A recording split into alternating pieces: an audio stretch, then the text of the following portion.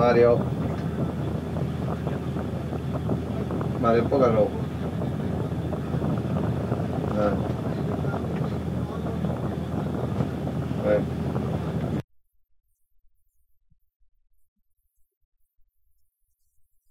Allora, io vengo, ho 30, 37 anni, sono 30 anni che vado per mare perché grazie ai miei genitori, perché mio nonno, calcola, vengo da due famiglie di pescatori, mio nonno pescatore, mio bisnonno, mio padre, anche lui, nonostante ciò stava con la carema, però comunque lui stava sempre a pescare.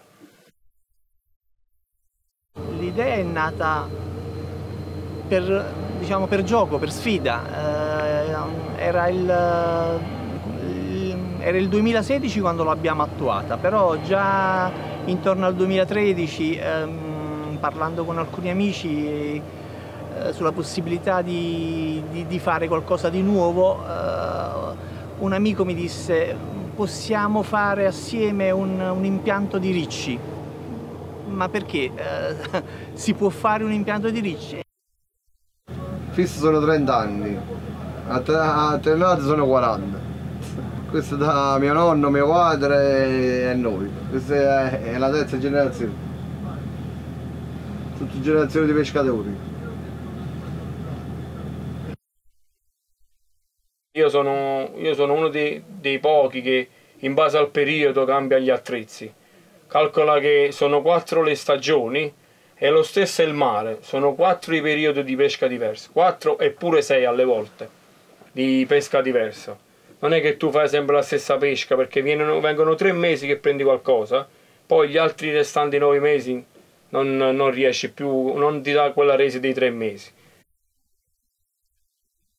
Le culture delle isole, le culture insulari del Mediterraneo sono tutte apparentemente simili ma sono molto diverse perché ci sono delle correnti, lo diceva un grande scrittore come Norman Douglas che ha scritto eh, appunto di isole negli anni 30 che vengono dal sud del Mediterraneo, dal sud-est del Mediterraneo e, vengono, e, arrivano verso il Golfo di Napoli. Eh, Procida, Ischia, Capri hanno, e anche la terraferma hanno sempre attratto gli arrivi di civiltà. Quindi la nostra dimensione culturale è molto complessa grazie al fatto che ci siamo arricchiti nell'arco di almeno 5.000 anni di queste civiltà multietniche, eh, completamente diverse l'una dall'altra, che noi abbiamo assorbito e poi ci siamo distribuiti nel tempo. Eh, l'isola di Procida, che è bassa, è un'isola bassa, un'isola piatta, che pur avendo sfruttato per tanto tempo le caratteristiche straordinarie della propria terra, con una discreta agricoltura, con le, paru con le parule e con eh, produzioni di carciofi, anche di, che, di, di, di agrumi che sono ben note, ha nel corso degli anni eh, dire, investito molto sul mare eh, ma anche dal punto di vista proprio eh, della predisposizione alla vita marittima. Riesci a immaginarti lontano da questa barca con un altro lavoro? Ma mi sentirei male, eh. se no io prima navigavo, però come arrivavo a casa mettevo la valigia a terra e prendevo, mi cambiavo e scendevo a pescare. Eh, lo devi avere nel sangue. È una passione. A me è sempre piaciuto perché sono libero, sono libero in mezzo al mare, stai a contatto con la natura e poi come, come tu quando scendi di casa ti, ti dimentichi tutto. Io quando due o tre giorni non vado a pesca sto a casa, mi sento, mia moglie dice ma che ti senti? Mi vede strano perché mi sento male, non che mi sento male, però mi manca quella cosa di andare a pescare che mi piace molto, molto. È la mia passione. I procidani che hanno visto il mare non come una minaccia ma come, come dire, una opportunità, a differenza degli schitani che hanno sempre subito il mare perché lo, lo hanno temuto e hanno cercato di ingraziarselo con varie cerimonie eh, e processioni. Eh, a Procida il rapporto con il mare è sempre stato più o meno eh, inclusivo, amicale, anche se dei periodi dell'invasione de, de, de, dei saraceni c'è stato sempre questo timore della, della, della, della strage, della violenza, no, del rapimento. La cultura della pesca da questo punto di vista è stata favorita da una vicinanza alla costa, da un utilizzo delle correnti un po' diverse da quelle di, di Ischia e anche di Capri, ma eh, grazie anche al fatto che qui sono sbarcati pescatori che hanno avuto esperienze lontane negli anni eh, nella, dalla zona adriatica ma anche dal sud. Noi siamo fondamentalmente un popolo di marittimi e i marittimi sono abituati a lavorare con persone di tutte le nazionalità da sempre. Eh, per quanto riguarda la pesca, a partire dagli anni 2000 noi abbiamo avuto esigenza di integrare il personale che era sempre meno e, e scarso, quello italiano, con personale extracomunitario ed allora abbiamo iniziato a ingaggiare i primi marittimi che venivano pre prevalentemente dall'area magrebina. Attualmente nel settore dello strascico eh, la totalità dell'equipaggio, a parte proprietà e comandanti, sono extracomunitari, persone ormai perfettamente integrate con il nostro modo di lavorare e devo dire pure piuttosto bravi. Nella circuizione sono di meno perché c'è ancora qualcuno italiano disposto a venire a pescare, però anche là mh, probabilmente nei prossimi anni si assisterà a un fenomeno di integrazione soprattutto dall'area magrebina, come dicevo. Quindi queste migrazioni all'interno dello Stato italiano ci sono sempre state, perché portavano esperienze di mari diversi, di pesche diverse, alla fine siamo cresciuti tutti quanti con un know-how comune nel settore della pesca. Sì, allora si arriva sulla zona di pesca e poi eh, troviamo diciamo, un banco più stretto e si molla la lampada e poi si aspetta se aumentano o meno. A volte fanno presto, a volte fanno tardi, non c'è una regola. Per mare non c'è una regola. Poi li puoi trovare già raggruppati. Eh, quello è il problema. Però sei sempre legato all'orario perché devi arrivare al mercato perché dopo un certo orario non, non li trovi più. Cioè il mercato i, eh, i pescivendoli se ne vanno perché giustamente devono andare a fare aprire le le botteghe quindi eh, vanno di fretta ed è un macello. Ognuno, anche un, uno che lavora una, una, settimana intera, diciamo che lavora in un supermercato, un magazzino qualsiasi, comunque la giornata libera si prende la barca anche se deve uscire, solo a farsi una semplice passeggiata e il mare è tutto, capito? Io la penso, la penso così, anche un vecchietto che va in pensione dopo che ha lavorato una vita intera c'è una piccola barchetta e si va a prendere qualche pesce per mangiare, si va a fare una passeggiata, capito? Comunque è procide il mare. Fondamentalmente il, il, Golfo sta come stava negli anni scorsi, non ci sono state grandi variazioni. Eh, quello che può essere cambiato negli ultimi anni è eh, relativo di più ai cambiamenti globali, cioè un aumento della temperatura media di cui ci accorgiamo tutti e una, una, riduzione del pH dei mari crea sicuramente degli squilibri ecologici che si vanno a sovrapporre a quelli che noi localmente abbiamo da sempre prodotti. Al di là di questo è ovvio che poi nel tempo una, uno sforzo di pesca che è sempre crescente, perché comunque le nostre esigenze aumentano, fa sì che il mare sia sempre un po' più povero dal punto di vista degli stock. Allora, il mare è cambiato tantissimo, basta solo pensare che eh, io abitavo alla Coricella e um, quando ero piccolo uh, uh, avevamo dai 13 ai 14 pescherecci tutta la coricella era uh, un... Uh, stavano messi i pescherecci uno avanti, avanti agli altri. Uh, pericolosissimo, ma stavano così, ma non è mai successo niente. Ed ora, se andiamo a guardarla ora, ci sono due, massimo, ci sono tre pescherecci.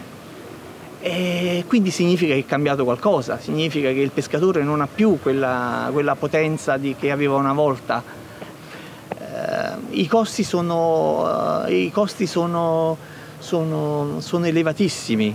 Uh, basta solo pensare che um, poco tempo fa un pescatore mi ha fatto vedere uh, che per uscire in barca la, la, la, la, sera deve portarsi un plico di, di carte di autorizzazioni che, che, un, uh, che, non si è mai visto, è un, un plico enorme di, di, autorizzazioni, di pagine, di, di leggi. Di...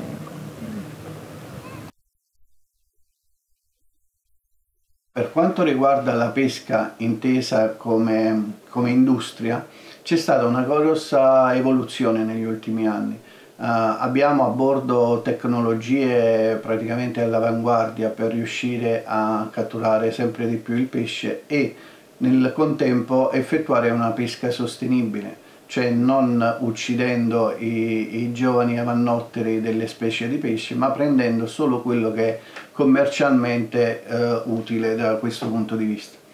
Dall'altro punto di vista però um, assistiamo a un'involuzione perché non c'è un ricambio generazionale, tant'è vero che io stimo che al massimo due, tre lustri eh, noi non avremo più approcci da uh, pesce fresco pescato da pescatori locali. Per dare un qualche dato dovete pensare che attualmente noi importiamo dall'82 all'85% di pesce dall'estero, la gran parte congelato.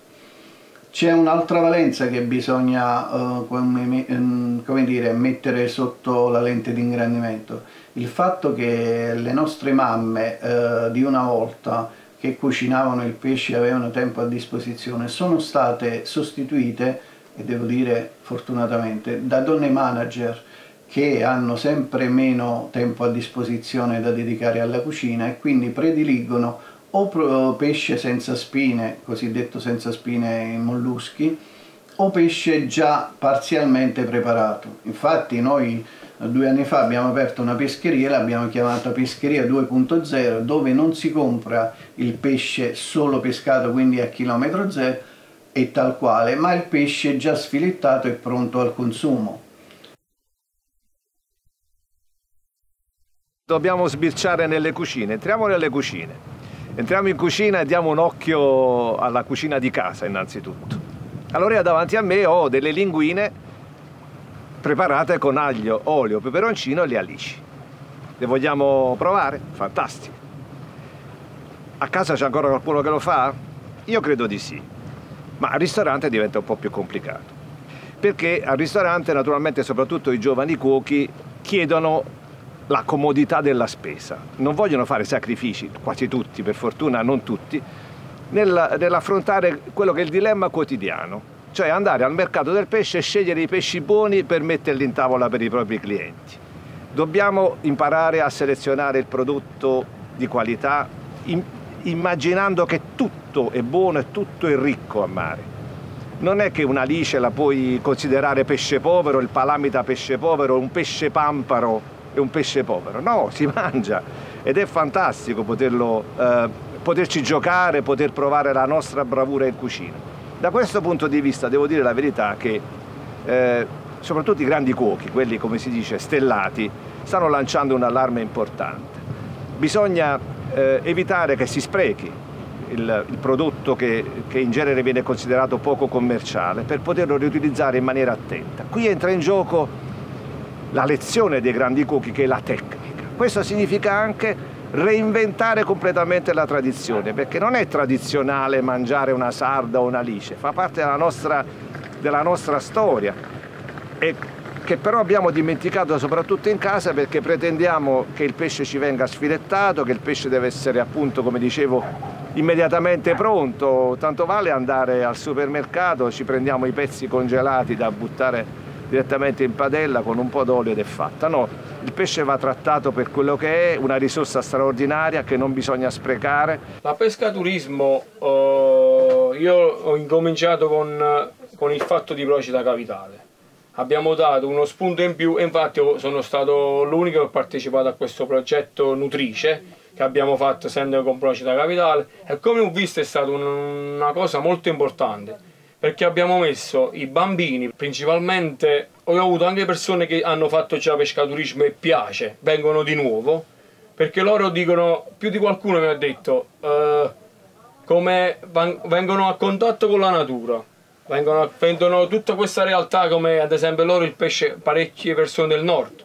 che là il pesce non sanno nemmeno che significa, infatti alle volte non sanno nemmeno i nomi, ci, ci abbiamo fatto vedere sulla specifica, eh, ad esempio col, con c'è internet, allora tu gli dici il nome e loro, loro magari vanno a vedere e si vedono tutta la, la, scheda del pesce così, perché la maggior parte che mi dicono è tutto pesce che già ha più di qualche giorno, mentre noi qua il pesce fresco ce l'abbiamo in continuazione, quindi alle volte non sai nemmeno che ne devi fare, lo butti anche. Prima ti gratificava assai di più, ti rendeva di più e ti gratificava di più. E più ti gratifica, più ti senti più peschi eh, è meglio è. anche una soddisfazione.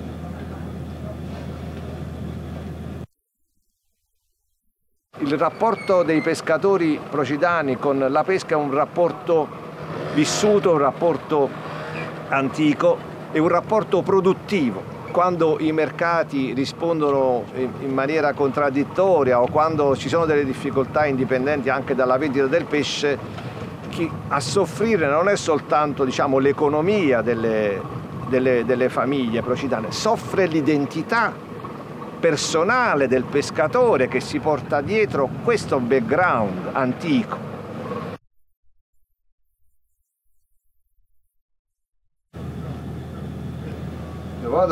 Prima disse di no e poi siamo per fare contento lui che io navigavo, solo che non ce la faceva a lasciare il mestiere, voleva l'aiuto. E ci siamo castigati mio fratello per fare contento lui. Ci siamo buttati in questo mestiere. Però se devo forzare i miei figli di fare questo mestiere no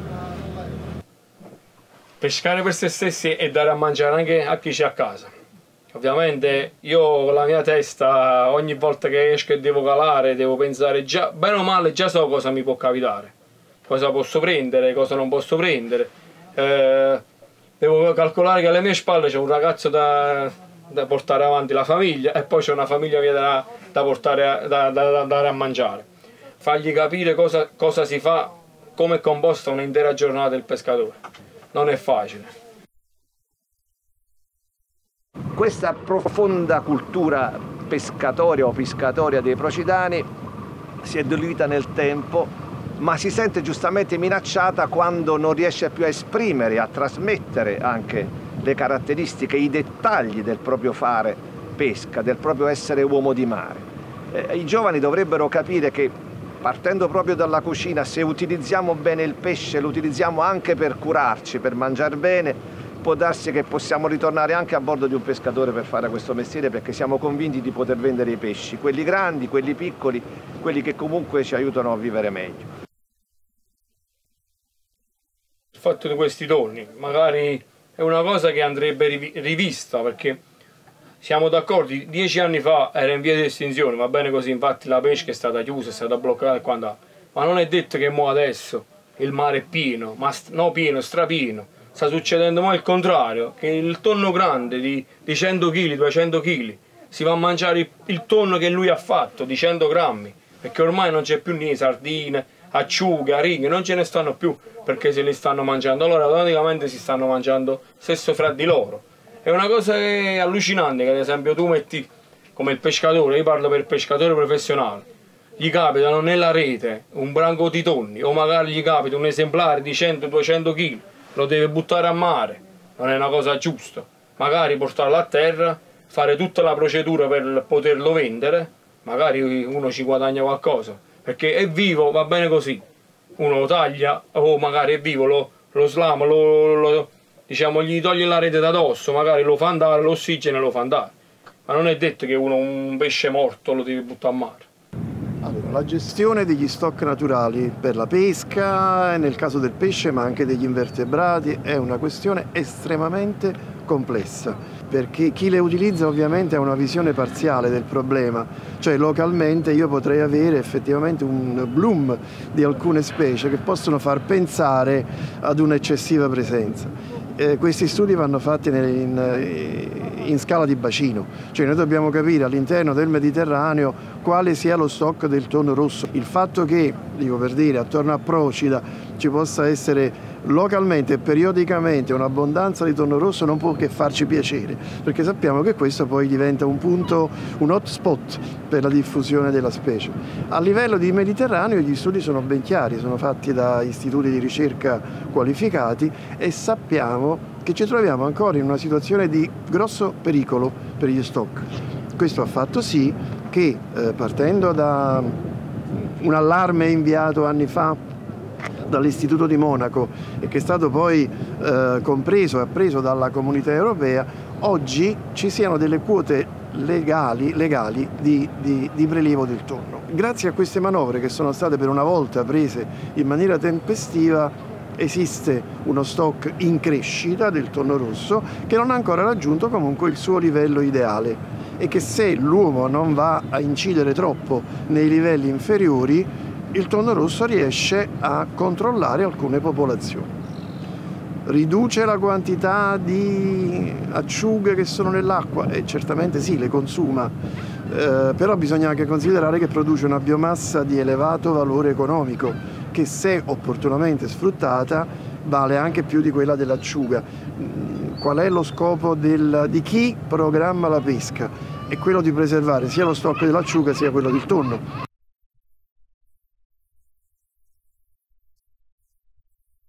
I ragionamenti sono molteplici, eh, ci sono alcune specie che possono, sono sparite perché non si possono più uh, pescare, altre che non si trovano più perché sono state pescate in abbondanza. Il pesce spatola per esempio è un pesce che quando si pescava negli anni 70-80 con le coffe intorno alle isole del Golfo i, i pescatori lanciavano urla al cielo per dire ancora una currea, basta, non pozze più e la buttavano a mare direttamente e, e, e poi vogliamo dircela tutta, ma chi è che mangia ancora la zuppa di pesce? Dove stanno più eh, le zuppe di una volta che si potevano anche ordinare al ristorante? Sparita. Perché la tracena no, può essere pericolosa, ci, ci punge, eh, la lucerna o pesce prete, no, ma quello... O vogliamo parlare nel periodo autunnale delle lampughe? il pesce che ha la storia iconografica più antica di tutti. XVIII-XVI secolo la civiltà cicladica ci presenta le lampughe. Il famoso pescatore di Acrotiri a Santorini ha le lampughe, non altri pesci. È un affresco straordinario, loro mangiavano quello e noi lo mangiamo ancora e possiamo dire che stiamo mangiando un pesce di serie B. Non è così, stiamo mangiando la storia. Ricordiamo sempre che noi consumiamo una parte molto limitata delle nostre risorse costiere perché ci rivolgiamo a 7, 8, 9 specie di importanza eh, sui mercati, dimenticando invece il valore poi economico di alcune specie che diventano più interessanti se sfruttate, se diffuse. Quindi qui è fondamentale anche ricordare l'informazione, perché attraverso l'informazione noi possiamo far capire come indirizzarsi verso, verso specie che magari hanno un elevato valore ma che sono poco considerate. Il riccio è una di queste, e da questo punto di vista proprio a Procida c'è questa eh, interessante iniziativa da parte di un privato, questa risorsa nel Golfo di Napoli è in riduzione e quindi la stessa attività del privato che produce sia a terra sia a mare eh, servirà anche per il ripopolamento. Io eh, quando ho, ho, pensato di fare questa, questa, attività ho pensato soprattutto a questo, sia a, ad avere un, giustamente un ritorno economico, ma soprattutto a poter ripopolare le zone che erano state decimate dal, dal prelievo forzoso. Uh, sì, uh, per me l'allevamento è il futuro, cioè non, uh, vedremo a breve che, che tu, il, il, 90% del, del, di quello che vedremo su, sulle tavole, sulle nostre tavole sarà prodotto da allevamento, di qualità ma sarà prodotto da allevamento. L'acquacoltura in generale in tutta Italia sta avendo un processo di um, amplificazione perché eh, diciamo così eh, non ha tutti i svantaggi della pesca, della cattura selvaggia eccetera e ha tutti i pregi dell'allevamento cosa che siamo già abituati da tempo tipo quello là ovicolo ehm, di tutti gli allevamenti che si fanno in agricoltura. Devo dire una mia personale percezione, nel senso che fino a qualche decina di anni fa io notavo che i pescatori erano molto più fiduciosi nel, mm, non vorrei dire rispettosi, ma fiduciosi nel, nei confronti del ricercatore, nel senso che venivano più spesso in laboratorio, ci venivano a proporre il loro punto di vista sacrosanto, perché poi bisogna considerare che esistono anche vari livelli nella pesca e anche qui voglio tornare al tonno rosso, cioè eh, il tonno purtroppo viene pescato soprattutto da grosse imbarcazioni anche a livello internazionale eh, magari viene il giapponese con, con, questa flottiglia imponente che va a incidere eh, seriamente sulla popolazione. Diverso è il caso delle marinerie locali che normalmente sono fatte da pescatori di lungo corso che hanno una notevole esperienza, che, che spesso possono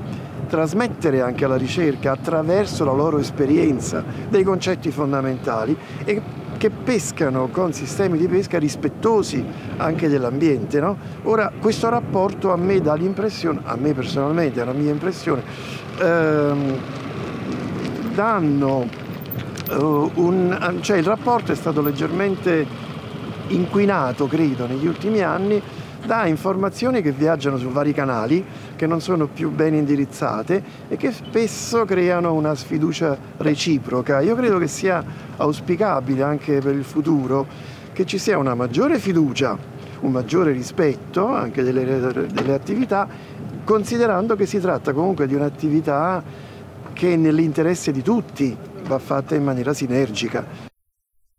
Allora, io sono nato a Coricella, proprio la prima casa della Coricella, sono figlio di pescatori, quindi diciamo mastico di pesca da quando sono nato. E, e mh, ho assistito certe, ehm, per certi aspetti subito questa involuzione che c'è stata della pesca.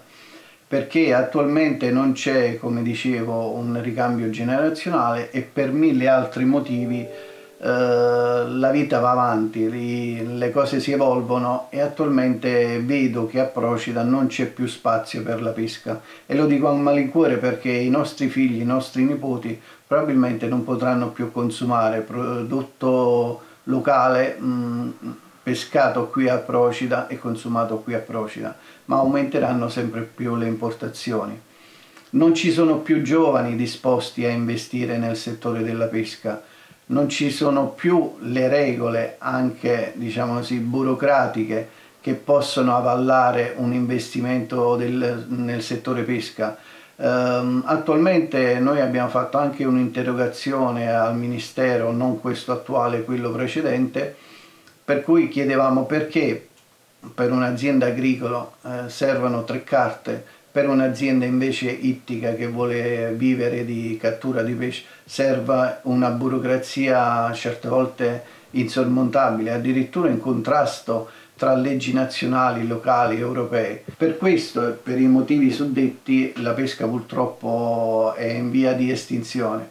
Uh, attualmente in Italia ci sono poco più di 12.000 imprese di pesca, ma vent'anni fa erano oltre 100.000. Quindi è un fenomeno nazionale, è un fenomeno che pian piano andrà a finire veramente a qualcosa come nicchia di mercato. Fortunatamente, come accennavo, l'agricoltura sta sempre prendendo più piede, l'acquacultura, scusi, non l'agricoltura, l'acquacultura. E qui a Procida siamo innovatori da questo punto di vista perché l'azienda di Ricci che abbiamo creato e messo su con tanti sacrifici è l'unica al momento in Italia. Quindi anche se, se tutto va sparendo, Procida rimane la pesca. Esatto, una bandiera resta. Un piccolo, diciamo così, un piccolo...